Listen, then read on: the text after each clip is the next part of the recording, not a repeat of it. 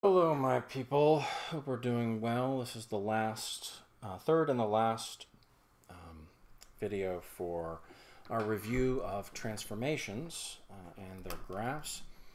So let's go ahead and look at an example of an exponential function. Um, if we look at, let's say, y is equal to, well, let's do uh, 1 half times e to the 2 minus x, um, I don't know, plus ah, 2. We're going with 2s all of a sudden. Uh, here uh, we have, of the six possible transformations, in this one we actually have five, right? And so if we want to make it a little bit clearer for ourselves, we take a negative 1 out of that 2 minus x, and when we do, we're functionally dividing by negative 1, right? Because factorization is a form of division. You're unmultiplying. It's just a form of division where the factors stick around, okay? And so if we take a negative 1 out, uh, we're functionally dividing by negative 1, which is the same as multiplying by negative 1. And when you do that, you flip a difference, right? Think of the think of the think of 5 minus 2 is 3, and 2 minus 5 is negative 3. So if you flip a difference, you're just getting the negative of it, okay? And to sort of compensate for the flipping of the difference, we pop a negative 1 out here so that we're not changing the value of that particular expression. We're simply changing the way it looks to us. Now, in terms of order of operation, it goes 1, 2, 3, 4, 5. So it moves to the right 2, we have a y-axis reflection, which is not really a y-axis reflection, but we'll get to that. We have a vertical shrink of 1 half. We have an x-axis reflection, and of course both of these can go, those can, two can go in either order. And then we're going to go up 2. Now those two can go in either order because uh, you can either multiply by negative 1 and then multiply by 1 half, or you can multiply by 1 half and then multiply by negative 1. Uh, you can do it in either order. That's what it means to call, that's what it means to call um, multiplication commutative, okay? Okay, so remember all exponentials, and I should be doing this in red, but all exponentials go through 0, 1 because everything to the 0 power is 1. So when we're doing the parent function, that's easy enough. E is about 2.7. Uh, e squared is about, oh gosh, what is it, 7.2, I think, 7.3. And then um, E cubed is 20.1, so it's just a smidge above 20. Uh, and, and it might be a good idea to, to remember those values, um, especially those three values, right? Uh, because when it comes to when it comes to that e cubed, sort of that 3 e to the third, e cubed is 20.1. Well, that's way off the Cartesian plane. But the moment that you, if you have half, right, in terms of a vertical shrink, uh, you wind up, it winds up being, uh, it winds up being uh, perfectly reasonable for it to then enter into the Cartesian plane uh, if you then, if you have a shrink and then a shift down you know, what was more than 10 units away from the Cartesian plane is now, is now within it. Uh, so those three values are probably good ones to remember. Uh, let's go ahead and go point by point. Let's take this sort of what I usually refer to as the hinge point, since it's not really a vertex, but it serves the same purposes for our, for our dealing with exponentials. We'll move it to the right two, and then we're going to y-axis reflect it. But remember, the moment that I shift to the right, I am moving not only those points, but I am moving what is the zero, the zero, um, the, basically the value which creates zero. So that's our new zero right here at x is equal to c, uh, and that for this specific one is x is equal to 2. So I move it over, you can't reflect 0 because 0 times a negative is still 0. But it does, it may be on the 0 line with respect to the horizontal, the back and forth. It is not 0 with respect to my vertical displacement. It is one unit above the x-axis. So I'm going to shrink it, then reflect it, and then move it up two units, and boom, there you go. Okay, let's take this one. It's good to know the approximate values, especially when you start shrinking them, okay? Let's move it over two units. And then we're going to reflect it. It just winds up right back on top of where it was. Then I'm going to vertically shrink it. 2.7 becomes 1.35, so a little under 1.5 right here. And then we're going to reflect it, so it's a little over negative 1.5 right here. And then we're going to move it up two units. So right about there, okay? Okay, well let's take this value right here. Um, this value right here, we're going to move it to the right two. Then we're going to reflect it. And then it's about 7 point, I think 7.3. It's a little over 7. So when I shrink it, it's going to be a little over 3.5. Then I'm going to reflect it, and it's going to be just a little bit below negative 3.5. And then I'm going to move it up 2 units. 1, 2, and boom. Okay? Now, um, I've probably done something wrong. No, no, no, no. I haven't done anything wrong. Um, remember that when, uh, but basically in the parent function right here, the horizontal asymptote is the axis. The horizontal asymptote, if you do transformations, is always the y is equal to d line. So on our, on our transformed function, we're going to have a, uh, we're going to have a new asymptote right here at y is equal to 2, okay? I'm going to make it nice and broad so we can all see it. Uh, and let's go ahead and um, what we have is at 3 e to the third, we have 20.1. So stick with me on this. We're going to move it to the right two units. So it's at 5 and roughly 20. Then we're going to reflect it. It's 3 units away from the axis. It's going to go to negative 120. Then we're going to shrink it. It's going to be a little over, little over 10 right here.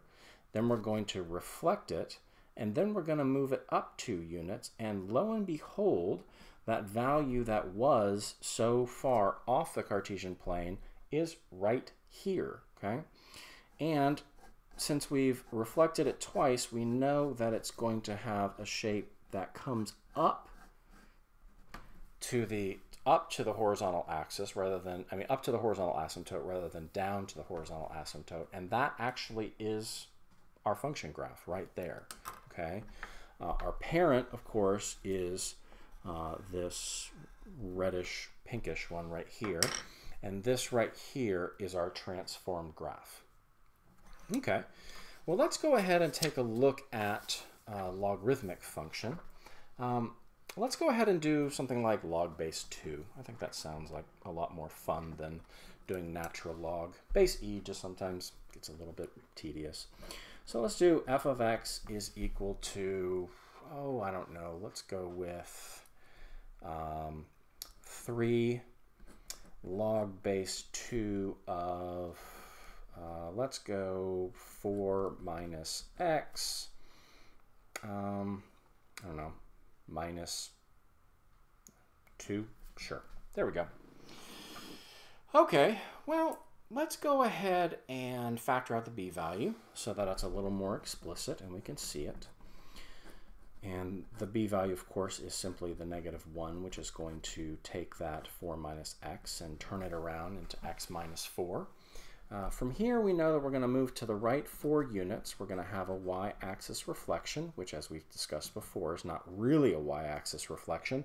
It's really an x is equal to c reflection but that's really kind of long-winded, so we're just going to call it a y-axis reflection just for just for uh, just for the sake of ease. And then I'm going to vertically stretch it by 3, and then I'm going to move it down 2 units. Let's go ahead and draw the parent, right? Now remember that anytime, look at the log base 2, so y is equal to log base 2 of x, when you plug in a 1, you're going to get a 0. When you plug in a 2, you're going to get a 1. When you plug in a 4, you're going to get a 2, right? Uh, and when you plug in an 8, you're going to get a 3, right? Uh, because log base 2 of 8 is 2 raised to what power is 8? Answer, 3. Uh, and this is 1 half, and this is 1 fourth, and this is 1 eighth, and that's kind of how it progresses. Um, none of this should be a surprise. And we have a logarithmic function which looks like that. Now we need to actually take our transformations and apply them to this. So let's go ahead and do that. Let's go ahead and take this hinge point. Let's move it to the right four units. Now when I move it to the right four units, I'm moving everything to the right four units. You had this wonderful asymptote right here at uh, x is equal to 0. That asymptote is now going to be at x is equal to 4. Everything shifts, right? And so that is your new zero point. And so all horizontal changes in shape are going to happen about the x is equal to 4 line. So I move it to the right, four units, and then it's one unit away, so when I reflect, it goes to here. Vertically stretch, well, it's on the axis, so it's not going to stretch, but it is going to move down two units. Okay, let's take this point right here. Let's move it over four units. It's two units away from the x is equal to c line, so when I reflect it, it's oddly enough going to go right on top of where it was before. I'm going to vertically stretch it by 3. Now, at present, it's one unit away from the x-axis, so to multiply that 1 by 3 and you get 3. And then you move down 2, and that's just bizarre, It actually winds up right back where it was. Okay, let's go ahead and take this point right here. Let's move it to the right 4 units. Let's reflect it. Let's stretch it by 3, so it's at 2, and it becomes 6, and let's move it down 2 units. Okay, let's take this. Let's move it over 4. Uh, okay, well it's off at 12 right now, but it's 8 units away, and so when I reflect it, it goes 8 units this way. I'm going to stretch it by 3, so 3 becomes 9, and then I'm going to move it down 2, and there it is, okay? Uh, I'm going to, it's easier for me to sort of twist it like this in order to sketch it.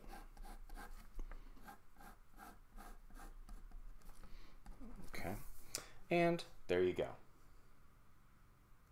Alrighty. Uh, let's go ahead and look at an example of a reciprocal function. Now, like I was saying in, in uh, class, or for those of you who weren't there in the class video, we don't usually use transformations when we're talking about rational functions because there's such a wide variety of them that you can't possibly enumerate all of the uh, all of the um, parent functions, right? Uh, and not all of them are capable of being reduced to transformations on particular parent functions. But when we're dealing with, like say, y is equal to 1 over x, that's a really simple parent function, and there are a lot of rational functions that are transformations on that, okay? Um, let's go ahead and do like y is equal to um, let's do negative 1 over 2 to the x minus 2 plus 3, or something like that, okay?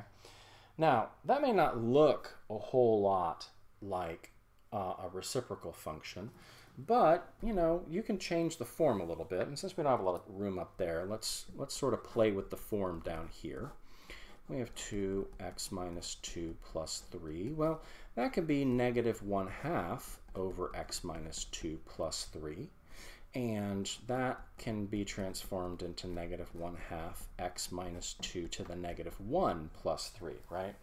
Uh, because to stick something in the denominator, uh, you basically is the same thing as raising it to the negative 1 power. Well, if this right here is x to the negative 1, then we can see that this does represent a transformation upon this as a parent function. And those transformations are, and I'm going to rewrite it up here so it's within the it's within the field of view for uh, plus 3. And so we have it moving to the right, 2. We have an x-axis reflection. We have a vertical shrink of 1 half, and we're going to move it up 3 units. Now, Remember, shifts move everything. And so shifts move asymptotes. So that's kind of neat. We know that the original that the original function Okay, and let's go ahead and uh, let's let's go ahead and uh, change the scale on this. Uh, let's make uh, one unit two boxes so that the Cartesian plane is no longer negative 10 to 10 but negative 5 to 5. I think that's going to help us by opening this up and allowing us to see it a little bit better. Uh, now remember, y is equal to 1 over x is the same thing as xy is equal to 1 when I multiply both sides by x, right? That means that the product is equal to 1. That means they have to be reciprocals or multiplicative inverses of each other. That's why they call this the reciprocal function. And so basically if you have 1, the reciprocal of 1 is 1. But if you have 2, the reciprocal of 2 is 1 half. And at 4, the reciprocal of 4 is 1 fourth. And it goes the other way uh, in a certain sort of symmetry up here. That also happens with the negative numbers, right? The reciprocal of negative 1 is negative 1. The reciprocal of negative 1 fourth is negative 4. Uh, and so I'm going to tilt this a little bit while I um, okay. Okay, there is our parent function in all of its glory. Now, we don't actually draw them, but these both of the axes, the xy, x and the y-axis, are actually asymptotes for this reciprocal function. And if we're going to move everything over two units, then this axis, this uh, the y-axis, which was the asymptote, we have a new asymptote, which of course, you know, if you look at it, you recognize that that's just how it goes, right? Uh, now, we also should note that this becomes an asymptote, right? Uh, if you were to actually take that original function and put it back into um, a single expression, you would see the uh, you would see this asymptote. Of course, it's it's actually even easier to see in this form right here because as x gets really really big in both directions, this stops this stops determining the value and all that's left over is 3. So uh, you have a new asymptote here in terms of vertical, and you have a new horizontal or end behavior asymptote. And what's going to happen is, let's go ahead and go point by point. I know that I need to take all these points and move them over two units. I need to x-axis reflect them. I need to vertically shrink them, and then I need to move them up three units. One, two, three. I'm going to go ahead and take this point right here at 1 half comma 2 and I'm going to move it over two units. Remember when you're shifting and you're shrinking, remember if you've changed your scale, you need to remember that as you do it. So four boxes is over two units. Then I need to x-axis reflect it down to here. I need to vertically shrink it by one half, and then I need to move it up three units. One, two, three. All right, let's go ahead and do this one right here at 1 fourth 4. I need to move it over two units, 1, 2. I'm going to x-axis reflect it down to here. I'm going to vertically shrink it by 1 half, and then I'm going to move it up 3 units, 1, 2, 3.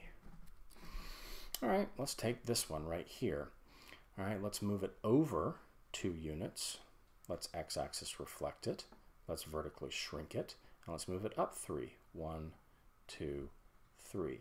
And you notice that there's still that sort of symmetry as it, uh, not, I mean, not right as it's sort of tucked up inside right here in this corner. Uh, and what you're going to get also is across this, since there was origin symmetry on the original, and this sort of becomes a new origin, uh, we should expect that there would be that sort of symmetry on. And of course, you, you, you'll get this confirmed by doing the points, but um, we're kind of running a little bit long, so I wanted to at least point out the symmetry, uh, if not for my convenience, but also for your edification. Uh, and there we go. And that basically, we see it having, we see it as a transformation on this original parent right here even though we never really learned about reciprocal functions as proper parent functions. And the thing is that even if you are given a function that doesn't that doesn't like even define a class and you and you relate it to a function nearby, you can still think about those things in terms of transformations, and that's the beauty of it. Um, you after you practice transformations for long enough, you're able to actually start seeing the graphs of functions in your mind's eye without ever putting pencil to paper. Uh, and that allows us to have sort of a visual perspective on the functions that we are entertaining, even if we're not specifically asked to graph them, right? Uh, if, we, if we have a numerical perspective, if we have an analytic or notational perspective, and we also have a pictorial or graphical perspective, then we have, we have greater understanding of a mathematical phenomenon the more perspectives we bring to bear uh, upon it. And that's, that's one of the benefits of knowing how to graph well, okay? Um, I hope this has been helpful. We will dive into um, transformations of sine and cosine graphs tomorrow. Uh, but like I said, I wanted to make sure that we were all on the same page when it came to transformations in general so that that was not a limiting factor when it comes to our understanding of these next couple of days. Uh, as always, if you have any questions, uh, shoot me a message or an email. Bye.